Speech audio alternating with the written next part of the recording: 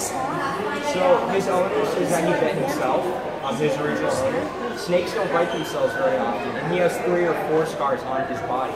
So we think his owner abused him, unfortunately. So he's a ball python.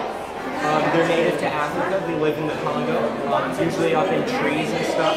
Very rarely on the floor. He'll climb up onto the roof of his cage, uh, his enclosure all the time, and chill up there. And then sometimes he'll fall and make loud sounds. Kind.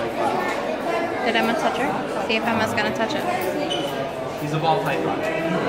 I touched some time. So you see how he's forming a ball around my hand right now? That's what they get their name from. They sit in these balls. So no, these are actually constrictors. They have no venom. They just squeeze. Like right now, if you wanted to, you could squeeze my hand really hard, probably break it. But he likes me, so he's not gonna do it. You gotta go to the bathroom? Where's the bathroom?